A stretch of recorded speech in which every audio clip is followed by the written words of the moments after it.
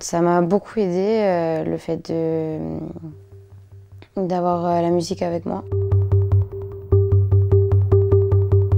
J'étais en sixième. J'ai vécu du harcèlement euh, pendant un an à l'école, enfin quatre ans, mais un an c'était vraiment persécuté tout le temps, tout le temps, tout le temps. Les personnes qui sont victimes d'harcèlement comme moi ne devraient pas se faire harceler autant. Je trouve que c'est vraiment petit de faire des, des trucs pareils à des enfants qui sont... En fait, on est tous pareils. Je vois pas pourquoi quelqu'un doit être différent à un autre alors qu'on est vraiment tous au même niveau et on est tous égaux.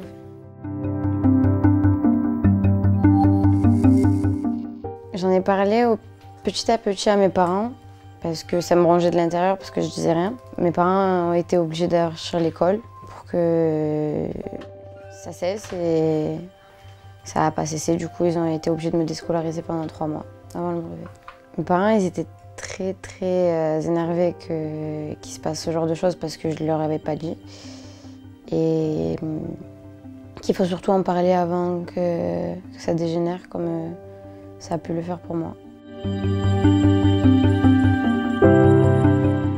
Ça m'a beaucoup aidé euh, le fait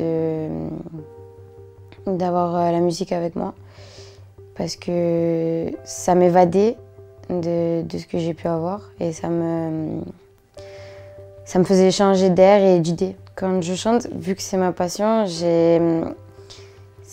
quand je chante, vraiment, euh, je suis vraiment dans ma bulle. Dès que j'ouvre la bouche pour chanter, ben en fait, je suis vraiment dans ma bulle. J'ai ma bulle autour de moi et je suis seule dans ma bulle. C'est une sorte de revanche pour moi dans Voice parce que le fait de, montrer mon talent aux, personnes qui ne me connaissaient pas et aux personnes qui me connaissent, ben, ça, fait, ça fait tourner la roue et la roue, de toute façon, on a toujours dit qu'elle tourne, donc euh, la roue elle tourne. Qu'il faut en parler directement à qui que ce soit, que ce soit ses parents ou, à l'école, le directeur ou un prof ou même ses sœurs ou ses frères. Il faut en parler parce que sinon après ça dégénère et c'est pas bon.